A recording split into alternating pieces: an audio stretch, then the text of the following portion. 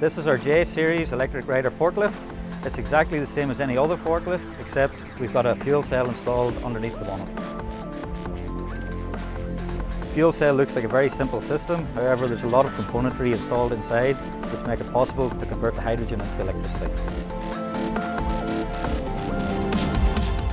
This is the fill procedure for the forklift on the fuel cell. So it will take between two and three minutes to fill this particular version of forklift. A typical lead acid battery would take up to eight hours to complete a charge. A lead acid battery degrades in performance over time.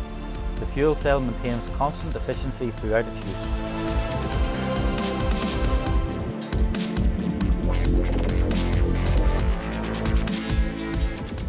This is where the lead acid battery would typically be installed in the forklift.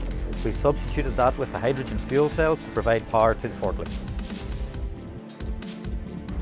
This is one model in our range of 1.5 to 5.5 ton forklifts, any of which that could be fitted with a fuel cell if needed by the customer, to provide zero emissions, maximum productivity and a low total cost of ownership.